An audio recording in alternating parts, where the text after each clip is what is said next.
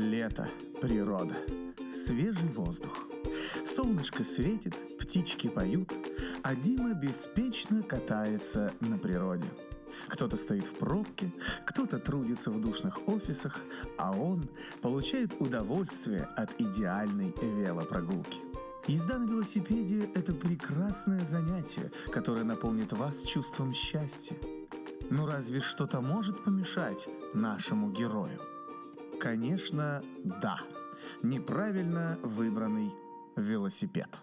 Привет всем любителям чистого воздуха, зеленой травы и пения комаров. Меня зовут Александр, и это программа «Советы туристу». Сегодня наша цель разобраться в неожиданном вопросе, почему велосипед может сильно испортить отдых, и что нужно сделать для того, чтобы этого не произошло.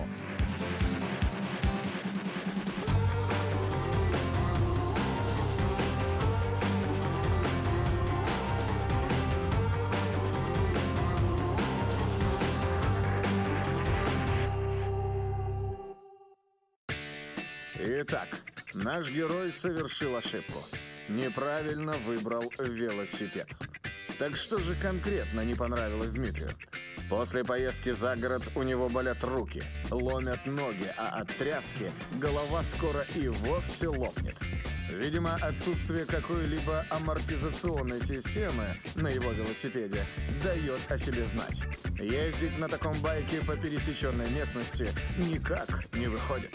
У нашего героя обычный городской велосипед, на котором он часто выезжает в лес, ездит по кочкам, не по асфальту. Ай-яй-яй-яй, а с виду же умный человек.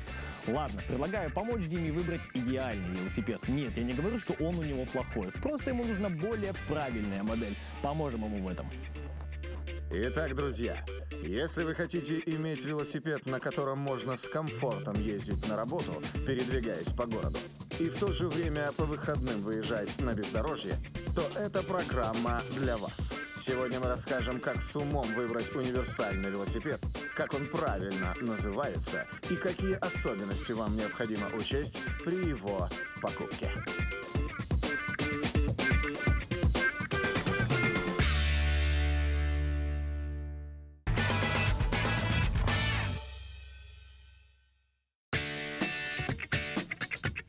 Сразу, как говорится, не отходя от кассы, мы приехали в магазин.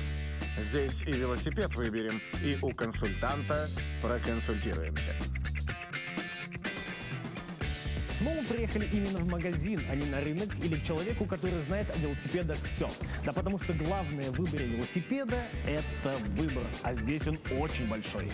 Выбор в современных спортивных магазинах действительно огром. Гадалки не ходи, здесь вы точно сможете найти для себя двухколесного гнедого. Маленький совет. Зайдя в магазин, не теряйте время. Не стоит рассматривать все это многообразие. Бесполезно. Все равно ничего не поймете. Сразу идите к консультанту. Будьте готовы к тому, что в магазине вам зададут миллион вопросов. Какой у вас вес, болит ли у вас спина, левша вы или правша, какую обувь обычно носите, спросите, для чего все это? Да для того, чтобы выбрать правильный велосипед. Саш, привет. Привет. В общем, мне в твоем магазине нужен велосипед. Какой велосипед тебе нужен? Велосипед, э, чтобы я с легкостью катался по городу, мог отправиться в лес, покататься там. Но это не будут горы. Нет.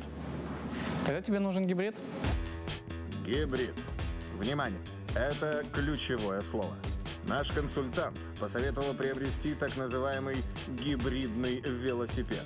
Из самого названия понятно, что речь идет о конструкции, предназначенной сразу для нескольких дорожных условий. Собственно, это то, что нам нужно. Это гибрид. Означает то, что вилка здесь может блокироваться. Ты можешь э, с хорошим накатом, с увеличенным КПД ехать э, по асфальту. А, либо, если дорога будет неровная, ты можешь разблокировать вилку, и, соответственно, вилка будет обрабатывать все неровности дороги, и ты будешь чувствовать себя комфортно. Амортизационная вилка, улучшающая контроль над велосипедом на высокой скорости и увеличивающая его комфортность и безопасность – самая важная деталь гибридного велосипеда. Поэтому обращаем на нее свое пристальное внимание. Также не забываем о деталях, которые важны и в любом другом велосипеде. Это задний переключатель, передний переключатель, тормоза, колеса, которые позволят тебе иметь хороший накат. Влияет на скорость, влияет, соответственно, на твою усталость. Рекомендую тебе именно этот велосипед. Да? Сердце велосипеда – это рама. Поэтому рама должна быть от уважаемого бренда. Страшное слово «бренд». Услышав его, вам стоит сразу задуматься о цене. Ведь простой велосипед можно купить максимум за 30 тысяч рублей, а вот велосипед брендовый может стоить все 30 тысяч долларов. Друзья, что такое гибридный велосипед, я понял. Это действительно хорошая, качественная модель, но для нашего героя она будет немного дороговата. Пойду попробую найти что-нибудь подобное, но дешевле. И нам, естественно, удалось найти недорогой экземпляр, который полностью соответствует всем критериям гибридного велосипеда. А все потому, что мы пошли не на рынок, а в магазин, где, повторимся, выбор действительно огромен. Мы выбрали подходящую модель для нашего героя, но верить на слово тому, кому нужно продать, не наш метод. Для оценки нашей покупки нам нужен практик, а точнее тот человек, который знает о велосипедах все. Знакомьтесь, призер велогонки «Критериум» в абсолютной категории Андрей Ведякин. Через его ноги, руки и остальные части тела прошел не один десяток байков. Андрей знает о велосипедах все, от В до Д. И именно его мы попросили оценить не только нашу покупку, но и старый велосипед нашего героя. Э, Здесь стоят э, тормоза ободного типа. Это достаточно старая конструкция. И это плохо. Это плохо, если вы собираетесь начинать кататься, и тем более по пересеченке. Также вилка. Посмотрите, она практически не имеет Ну-ка, нормального хода. Слушай, ну а вилка действительно как будто немножко так подзаедает. Да, в целом детали низкого качества, и они будут достаточно быстро приходить в негодность. Придется их настраивать и менять. Что ж, вердикт неутешительный. В старом велосипеде Дмитрия обнаружена масса проблем. А вот новый байк наш эксперт сразу оценил. Отличный вариант. Здесь еще выбраны хорошие покрышки. А, Покрышки для пересеченки тоже подойдут э, благодаря своей ширине. Они будут гасить вибрацию от э, мелких ком- и препятствий. По поводу тормозов. Я вижу здесь тормоза а, дисковые. Да, Это то есть уже тоже плюс. Да? да, гидравлика определенно дает э, существенный комфорт и позволяет легким нажатием руки уже блокировать колесо. Скажи, пожалуйста, почему вот сейчас вот такие вот маленькие, узкие, твердые сидушки? Это специально так? э? Узкое седло, оно как раз э, анатомически более удобное, чем широкое. Широкое будет э, по- до- доставлять неудобства мышцы, если вы будете ехать далеко. Давай посмотрим здесь вилка какая. Здесь вилка на самом деле очень очень мягко идет, входит и выходит, как говорится. Так, скажи, пожалуйста, вот для комфортной езды здесь, на этом велосипеде, достаточно всего или есть такие какие-то детали, которые могут дополнить его, то есть апгрейдить как-то его можно дополнительно? Апгрейдить Да. э, можно, но я бы не рекомендовал. А, Апгрейд это дело дорогое, и лучше сразу выбирать велосипед, подходящий себе по, э, по характеристикам.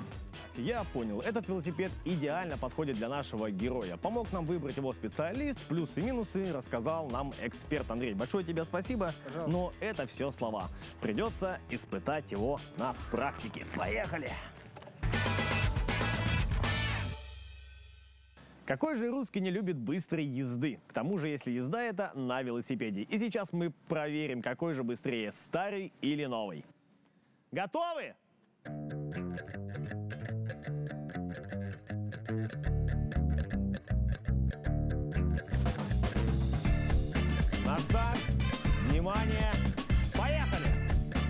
Давай, давай, давай, давай, давай, давай, давай. Отлично. Ну что ж, только что закончился велозаезд, и как мы и ожидали. Новый велосипед оказался быстрее, чем старый. Но это еще не все испытания. Подведем предварительные итоги. И специалист, и эксперт заверили нас, что один из главных критериев качества для такого велосипеда – это амортизация. Ее и проверим. Для этого нам нужно наш велосипед, стакан и мой многолетний опыт вождения. Крепим стакан воды к велосипеду, сажаем нашего испытателя и катим с горы.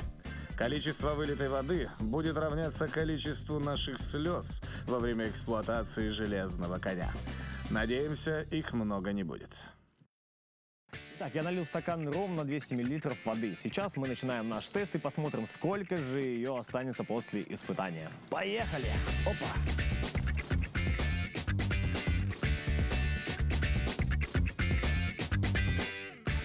Новый байк с задачей справляется неплохо. Вода расплескивается, но назвать это катастрофой нельзя. Результат должен быть удобоваримым. Опа! Итак, тест закончен. Посмотрим, сколько же воды осталось в стакане. Ну, собственно говоря, ровно 100 миллилитров. Это значит, что воды у нас э, израсходовалось больше полстакана. Сейчас мы посмотрим, на что же способен велосипед нашего героя. Проделываем ту же самую манипуляцию, крепим стакан воды к велосипеду и вперед. Поехали, давай.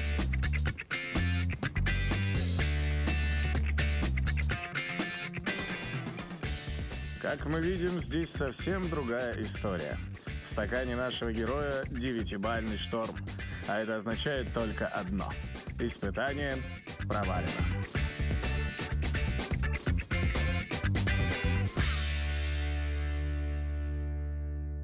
Так, Дима, останавливайся.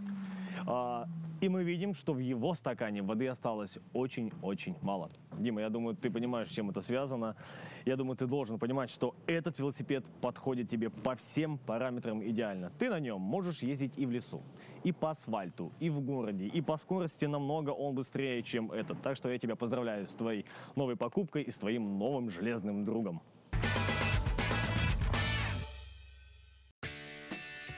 Итак, если вы уже завтра пойдете приобретать гибридный байк, напоминаем, выбирая велосипед, подходящий для прогулки по городу и для пересеченной местности, вам необходимо учесть. Велосипед должен быть легким. Покрышки должны быть с правильным протектором. Необходимы качественные тормоза. Нужна вилка с амортизатором, особенно если вы новичок. Удачи на дорогах! На сегодня выбор сделан. Я пошел испытывать следующий туристический инвентарь. Благо его много, и мест на Кубани, где его можно применить, тоже достаточно. На сегодня все. Это была программа «Советы туристу». Всем пока!